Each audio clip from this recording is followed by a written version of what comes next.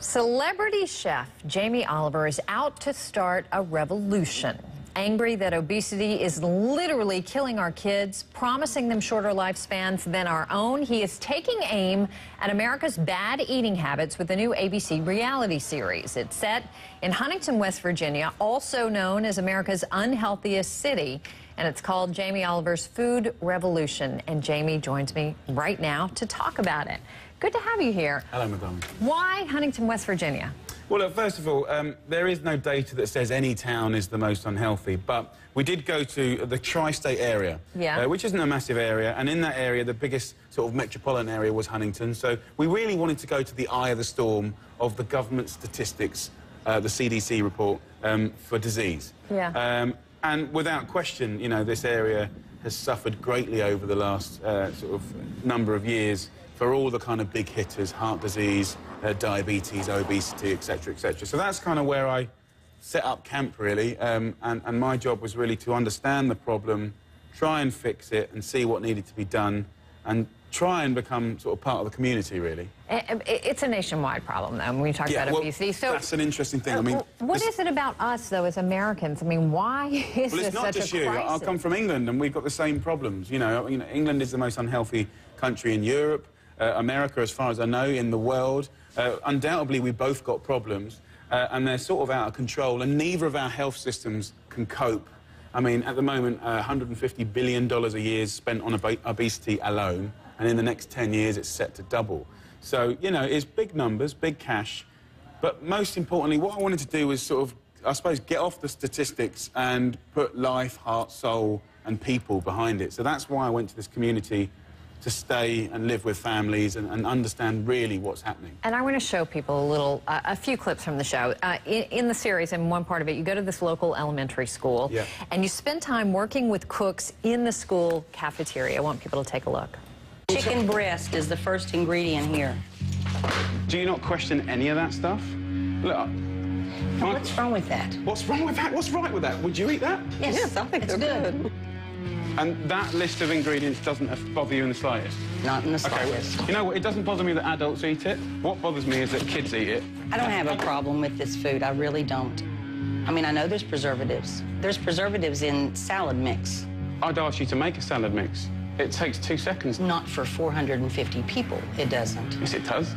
So, didn't go so well for you here. It went really well. did, did you imagine you were going to meet this kind of resistance? yeah. Yeah, you did. Yeah, I've been doing this for seven years. This is something that I care deeply about. Uh, this is something socially wrong with both of our countries. You know, uh, most of the controllers of the food industry, um, you know, really have the dollar and the pound way before our kids, you know. So, Um, so how do you change it if there is this resistance to it? I mean, build you- relationships, that good old-fashioned things, break bread, build relationships, hang around, you know, don't go when times are tough.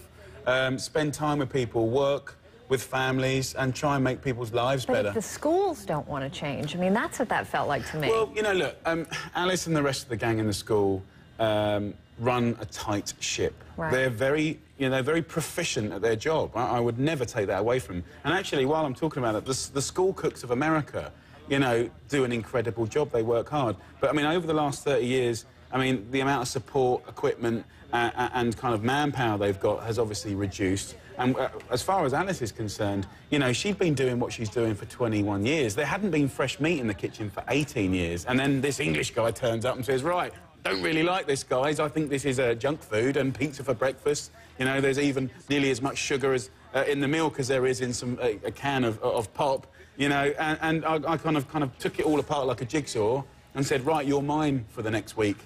And they didn't like that. So, I mean, I don't blame them because, but at the same time, yes, you need to make change. So here's the thing, though. At one point, the school administration tells you that the food costs have doubled Mm-hmm. since you arrived. So I guess here's the other Incorrect, by challenge. the way. Incorrect. It wasn't? Well, I was going to say, if the school incorrect. can't afford to make the Look, changes you've that got you're a lot, you've got a lot of very annoying bureaucrats and pen pushers that start, you know, ah, no, no, no, no, you know. Look, there's a load of, uh, like, separate... Uh, there's loads of separate incidents which had nothing to do with the actual food that ended up on the plate. Um, one of the things that has happened, basically what I'm saying is you can get the fresh food just about for the same money, although it's tight. Um, But the thing that we can't really ex express for is, you know, you get one lunch cook per, I don't know, 105 children. So if you've got 160 children, you only get one and a half cooks.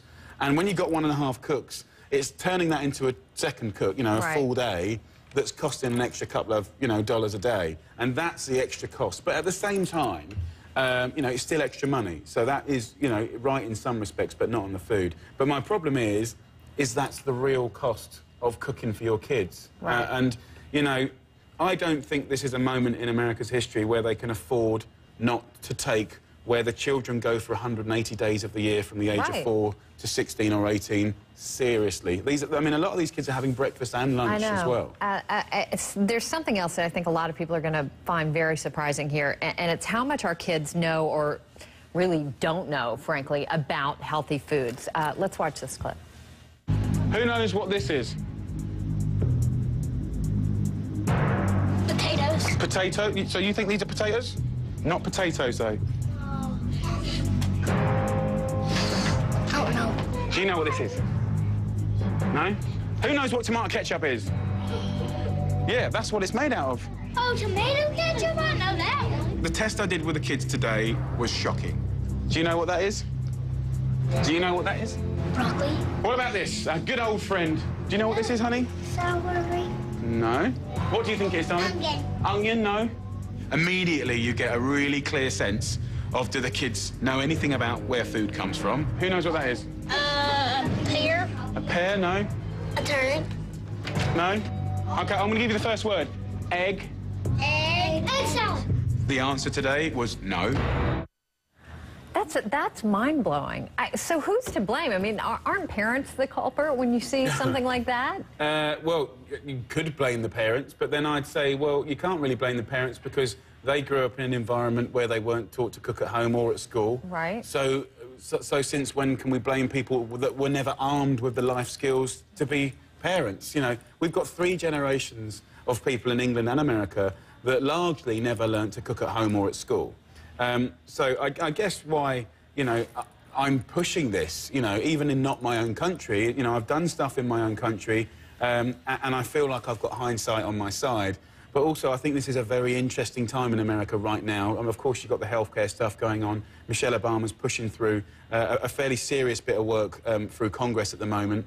Um, I also think it's worrying times as well. Got, you're going to have Congress, you know, they're, they're talking about $4.5 billion being spread over 10 years to go into this plan of reforming, you know, th- this nutrition and health of the young kids.